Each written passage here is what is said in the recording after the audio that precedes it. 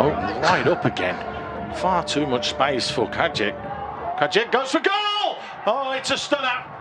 That is a beautiful finish. And for the third time this season, Krajcek makes no mistake against his former employees.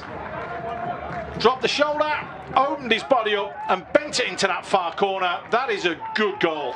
And again, for the second time, Balestier had control of the ball, gave it away, and then on the counter this time, ah, this was brilliant finish. But again, so much for so much time and space and so much for him to do here.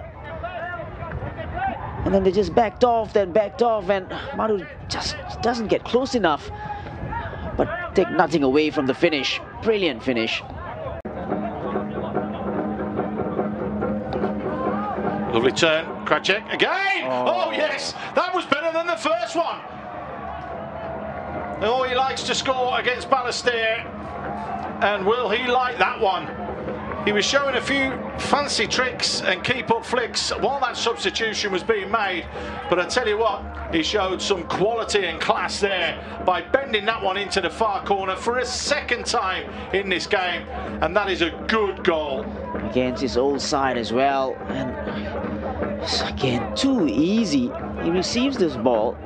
And take a look at this, the way he turned his man and then what a shot, what a finish. And you know he can do this. It's actually rifled, isn't it? It's not placed. I mean, that's gone with pace and yeah. power. Top quality from Kristijan Krajcek there.